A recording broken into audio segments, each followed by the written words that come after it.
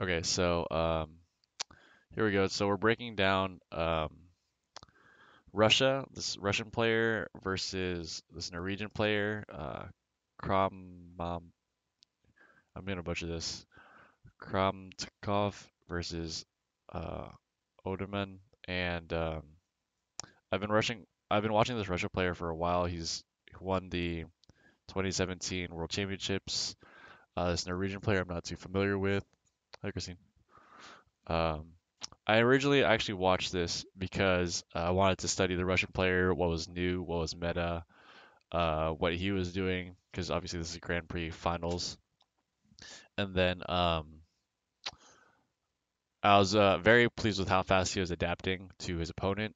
And uh, but overall, I'm just there's a I was very impressed with both sides during this game. So I thought it was good to cover not only just for basic strategy, overall gameplay and tactics, but how to play round per round per round, and um, and tactics and strategy within the uh, the whole system itself. So they just finished testing. Uh, let's just fast forward a bit.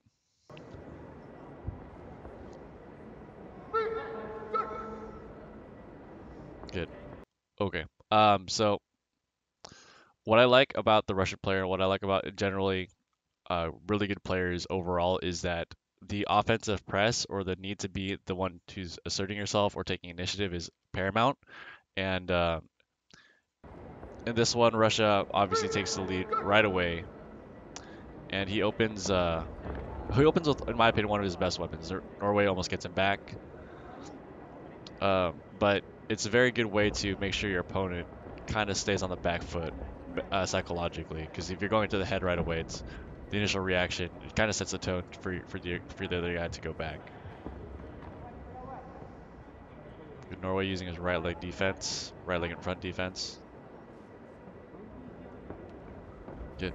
Um, what I like both sides here is uh, Norway already adapted. You can say, yeah, well, that's obvious, Chris, but usually adjustments don't come this fast. So I feel like he was scouted beforehand, not only just this tournament, but in uh, his fights overall, and uh, for him to do the fish kick underneath. And then what I like about Russia is he did all the cut kicks earlier this whole last 30 seconds after the initial one to try and set up the second kick.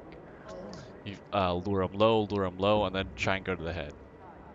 Really like that from both sides. Good. I feel like this is good. Uh, this is the second time or third time doing this take already, but what I pointed out each time was uh, Red's point here. I like because I would call it defensive because he's not really taking initiative to score. He's just trying to keep Russia off of him to make sure Russia doesn't feel too confident pressing. So here Russia presses, uh, goes into distance. Russia goes into distance to make sure that he doesn't get gummed or got like he doesn't get called for not for not engaging, and to make sure that Russia knows that he's still a threat. He shoots it forward uh, that time and was able to score. So really good on red side, accuracy wise, and just for maintaining a maintaining uh, strength throughout the game. Russia immediately adjusting, which is what I like to see. Uh, getting around the front foot. He doesn't feel like there's a back leg coming because it's been about a minute. Goes right in with the second time. That's really good too. Um, I can break that down. So the whole minute Russia is cutting and cutting and cutting, and there's been no back leg. So at this point, and Russia's been poking quite a fair amount. So he knows that it's probably just the front leg coming up, and if you can get around the front leg, you're gonna score. The first time he gets the punch, and what I like about Russia the second time so here, Russia gets the punch, right? He just scored it. And almost immediately, Russia's looking for the same opening because he just got the punch point. Red's mentally usually just, oh, he got a point. How do I counter that? And Russia's going in right away before Red can come up with a complete counter for for how to adjust against the punch. Usually it takes a little bit more time unless he's very well trained against it. Sometimes people just switch legs to completely nullify it. Uh, ooh. Good kick underneath. Russia keeping up the pressure. So very. What I also want to say is very good both sides. Russia's adapting very fast, And after the adaptation works, he hits it again before red can adjust. That's the key point to take away from Russia right here.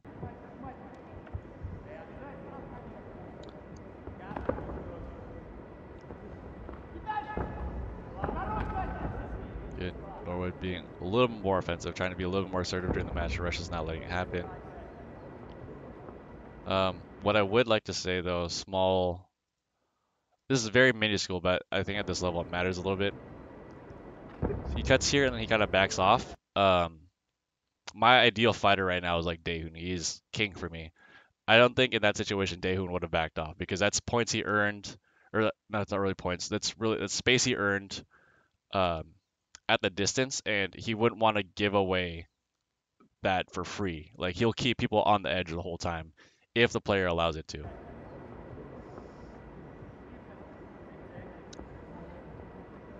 I feel like they're both trying to figure out what to do next. One of them probably, yeah, probably gonna poke a little bit just to keep things moving. Nice follow up.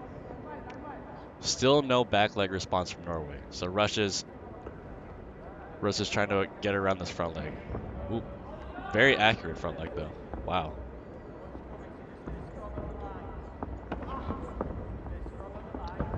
Nice punch. Yeah.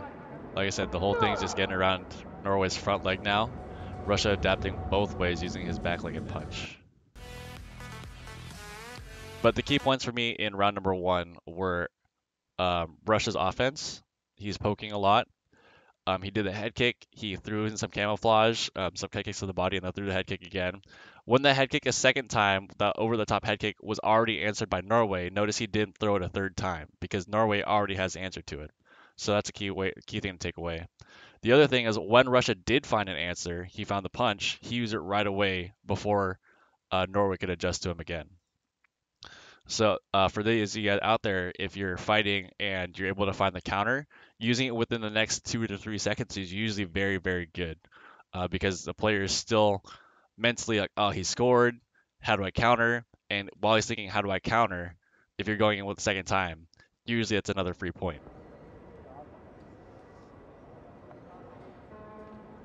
Second round, let's see how both players adjust here.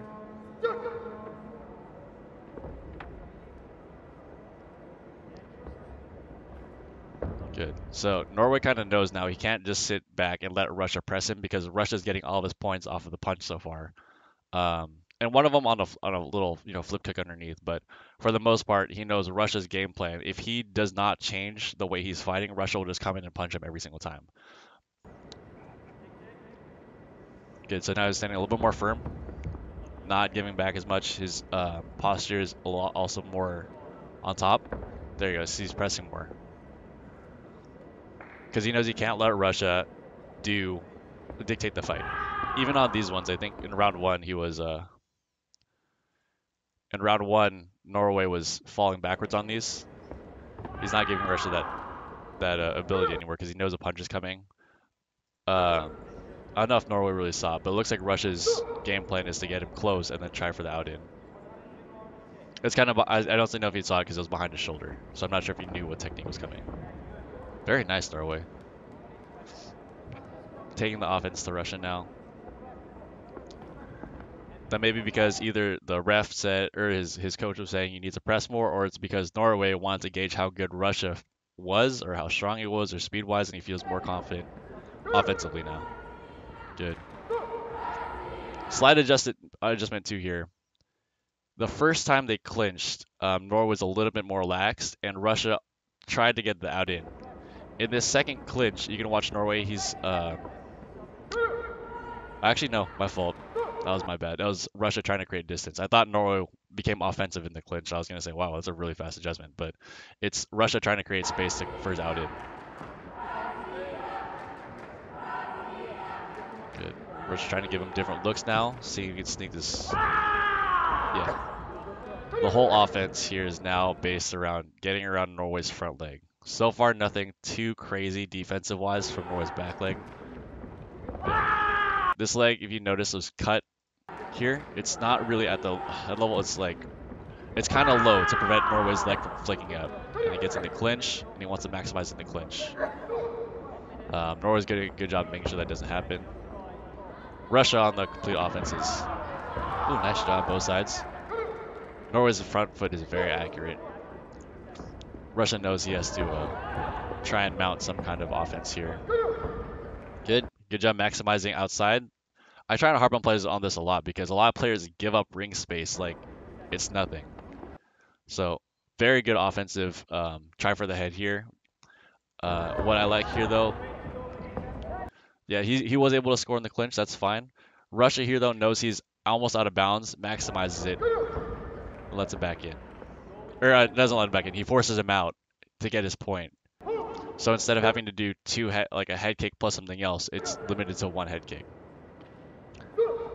Unfortunate for Russia though that Red was able to score in that score in that zone. Good. He went back to his number one weapon here, tried for it um, after giving so many different looks. Tried to go back to his bread and butter. I don't mind doing that because I mean your main kick's your main kick, and if you find a way to camouflage it, camouflage it, camouflage it, and then throw it, better for you. So I don't really mind that. Norway knows Russia has to come, so he's he's chilling. I feel like it more in his zone now. Uh, the defensive front leg. Yeah. You gotta be careful though, because Russia knows it's just that leg. So if he can get around it, he can block it, then uh, it's pretty much fair game for him after that. Very nice. He's still going back to the bread and butter. And the reason the reason this is effective now, not as much as before, because um, Russia opened with with his flick flick flick head, flick flick flick head, and Norway countered it. The second time he did it, Norway didn't really counter it. And then so the third time he's doing it, and especially because they've been gauging so much, um, Norway is probably not thinking that as the initial uh, the initial attack anymore. So it's very well hidden. It's within a good mix of techniques, so it's not the same look over and over again, and it's hard to guess. Uh, and I think that's and for me that's why it's okay for Russia to be doing that now. It's it's been mixed, it's been hidden, and he's throwing it again uh, without while while giving Norway different looks is what I, what I mean to say. Good punch. I think I fast forwarded for you guys, unfortunately. Uh, yeah, there's a zoom in of those two, and then oh, it just happened. It happened just after, that, I think. Yeah.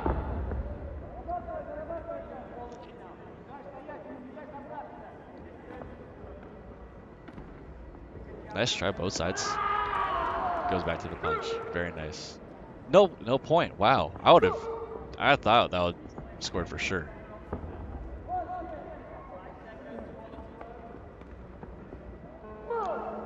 Thought that would have scored for sure.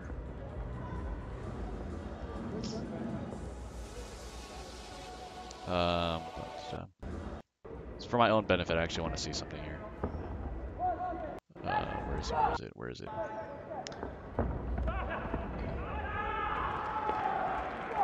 Getting that. Zoom in. Not, not. That's not the. What I want to see here is very nice by Russia. Nice try again. I want see what Red's doing here. Uh, fast forward to third rounds. I'll show you guys what I was looking for. Nice try by Russia a lot though. He, a lot of multiple flicking head kicks. Um, he's very good at that, and just a little bit unlucky he wasn't able to time it. You're always able to, to, to make it connect.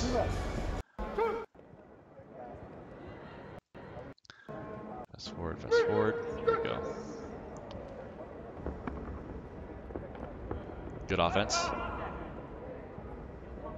Oh, we're taking the offense again.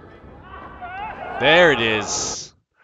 Okay, so the reason I, I checked the other side um, was something Korea likes to do a lot is in the third round, or in the second round, in the last 15 to 10 seconds, Korea will throw a technique. And the whole point of the technique is to just test what is useful in the third round. Um, so in the third round, in the second round this time, Red threw a defensive head kick almost connected. And so in the third round, um, I'm not sure if they're copying the Koreans or this show happened to be um, happenstance. Um, but Red throws that throws the defensive odd to the face and connects.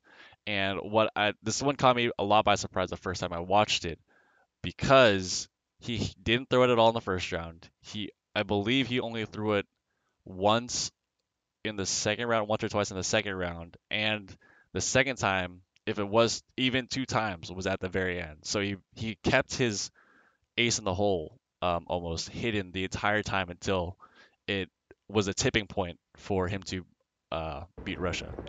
Here, good offense. Um, I think in general that's just to make sure Russia is. It's to let Russia know that he's going to be assertive. Like you're not going to dictate the third round, even though I'm behind. I'm not going to be complacent about this. Um, it's really just this part though. That's when I was like, dude, this Norway guy is different deal. The to keep to keep that kind of a weapon hidden for so long into going into the third round, I thought that was, dude, you're that is pretty genius in my opinion. I was very impressed with that. It's not only that, three points, Russia falls over, um, not able to make his inside out crescent kick hit. Russia's up by four. Now this is a, or up, excuse me, up by five now. This is a kind of a medium deficit now. Before it was only up by one, and that's, you know, it's that's one body kick. Now he's up by five. That is a humongous swing in his favor. And so uh, Russia's going to have to do a lot more, a lot more antics uh, to, to try and get a, point in. And it plays right into red because uh, Norway's game has been defensive, in my opinion. Nice try. He knows he knows Russia has to come in, so he can take those those high shots like that because the chances of Russia going backwards now is very is a lot smaller than it was in the first and second round because he has such a high lead. It doesn't make sense for Russia to play defensively. He needs to get points. And if your opponent's not moving backwards, it's really easy to hit. Or it's not really easy, it's easier to hit. Good, keeping him at bay. Yeah. Russia's whole offense still is to, to just get around this guy's front leg and try and maximize something on the inside. All the traps, all of the Notice when he's going for the head kicks, it's always a it's a it's a double jump. It's like a knee up and then something, or a cut cut cut body, and then that one's a knee up axe kick, just to destroy the front leg. So if he were to front leg against that, it would clash, and then he can get a kick on top. And that's the reason he's doing that. Um, I think he's hoping Red will lift because if that doesn't work and he's still stationary, he can also punch afterwards. Russia's whole offense now is just jam the front leg, clash it, mix it up with your legs, whatever, and then follow up because Red so far has the follow-up game has been a lot higher in Russia's favor. He's trying for the punch, but in general, the uh, good nullify the front leg. He's trying, trying what he can.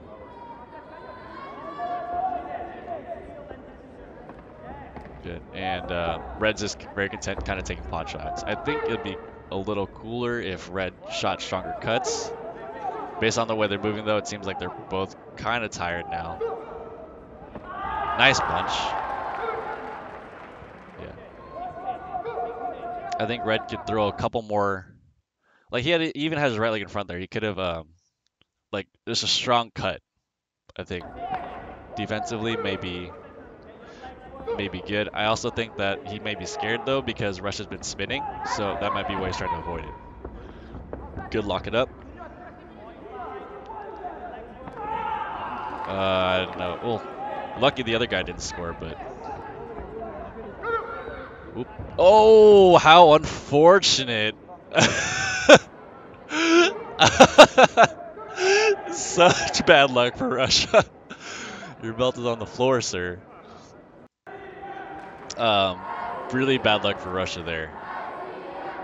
And Russia's been very good, in in my opinion. Russia's doing what as as much as he can, jamming the front leg, coming with the back leg, jamming the front leg, coming with the punch, and sometimes faking to jam the front leg and then throwing a, a, a back kick or some kind of spin kick uh, with the threat of the four points to the body.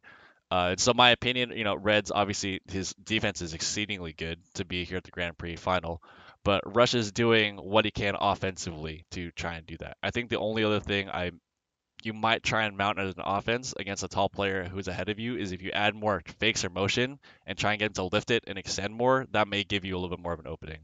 Um, with 40 seconds on the board though, I'm not sure how much of those, how many of those plays you can do. Good, Red keep him off him. Reds keep him off him. Good back kick. He's been waiting for that for a long time. Trying to get the punch in. Still, still the same offense. Spin, punch, or jam the front leg and go. I think if in red that sense, in, in that instance, I thought it would be cool if he did a flick because in this first one here, I won't, I won't hold you guys for too long.